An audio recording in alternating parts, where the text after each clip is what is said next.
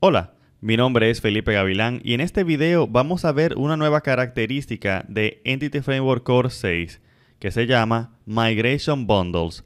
Básicamente en inglés un bundle significa algo así como empaquetado. Entonces un Migration Bundle es como un empaquetado de migraciones, un empaquetado de las migraciones de tu aplicación.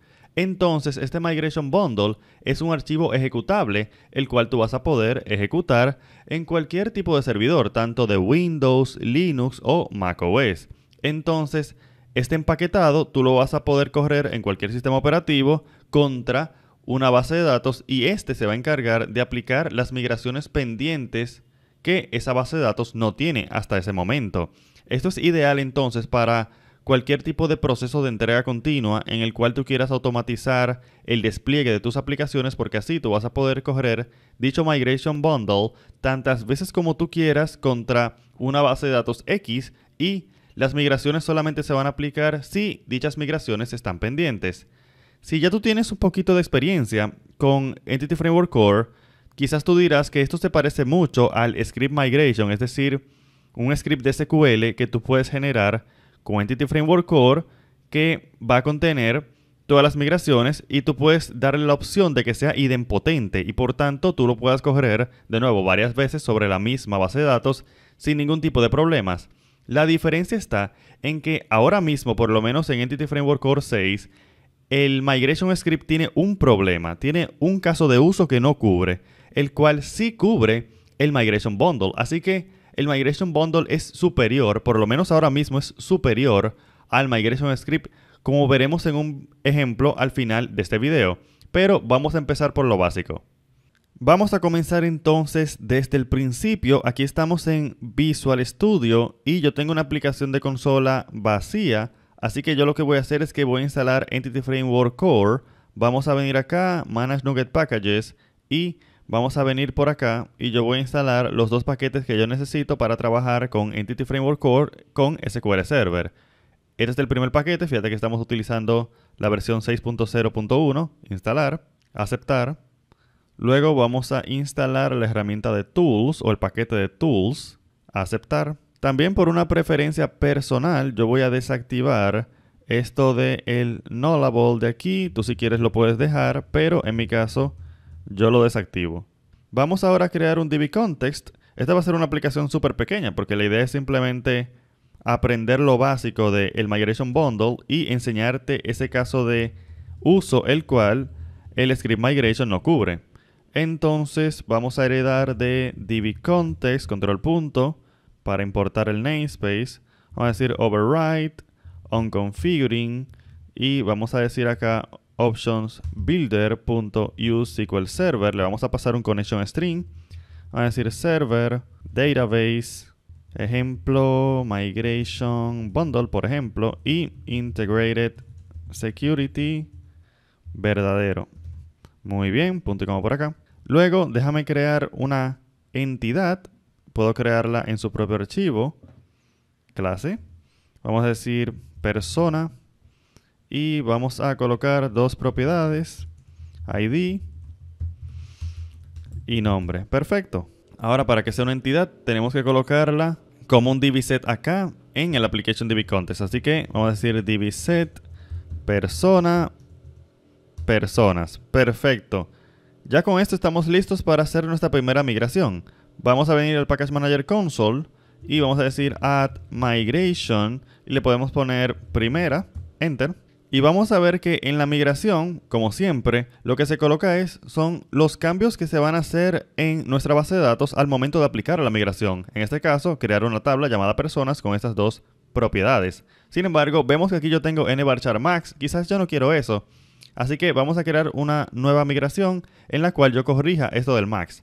Déjame venir a persona y vamos a colocar un string length control punto y vamos a decir 150 y déjame crear otra migración.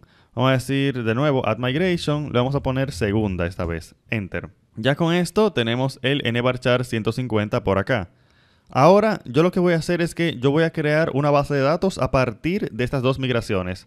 Claro está que yo podría decir aquí update Database y esto crearía la base de datos automáticamente, pero este es un video de Migration Bundles, así que nosotros vamos a utilizar los Migration Bundles. Como te decía, el Migration Bundle es un archivo ejecutable a través del cual vamos a poder aplicar las migraciones. Sin embargo, quizás porque esta tecnología es muy nueva, ahora mismo hay un bug. Y este bug yo lo he visto que lo tienen otras personas en unos temas de GitHub en los cuales están hablando de este problema. Así que yo voy a decir Bundle Migration. Es posible que si tú estás utilizando otra versión de Entity Framework Core no te ocurra este error. Sin embargo, a mí sí me ocurre este error, que vamos a ver ahora. Este error me pasa y parece que es algo normal. Posiblemente en el futuro lo van a corregir. Por ahora, para nosotros avanzar, yo lo que voy a hacer es lo siguiente. Yo voy a venir acá, clic derecho acá, Open Folder in File Explorer. Yo necesito venir al directorio donde está mi CSProsh en Windows yo puedo hacer Shift clic derecho, Open PowerShell Window Here, porque yo necesito una terminal. Y aquí yo puedo decir .NET EF Migrations Bundle. Este es el mismo comando que hicimos acá en Visual Studio. Este es el equivalente. Aquí es Bundle Migration, aquí es .NET EF Migrations Bundle. Solo que aquí, para saltarnos el error, por decirlo de algún modo, yo voy a decir Configuration Bundle. Enter. Y ya de esta manera sí va a funcionar. Esto me va a crear ese archivo ejecutable que va a contener las migraciones. Como podemos ver, se ha creado este archivo ifbundle. Déjame verlo por acá. Aquí tenemos este archivo de ifbundle que contiene las migraciones. Ahora ese archivo yo puedo tomarlo y llevármelo a cualquier servidor. Lo pude haber generado, por ejemplo, en un proceso de integración continua a través de GitHub Actions o Azure DevOps o lo que sea. Y luego ese Migration Bundle yo podía ejecutarlo contra mi base de datos. Pero en nuestro caso vamos a trabajar de manera local.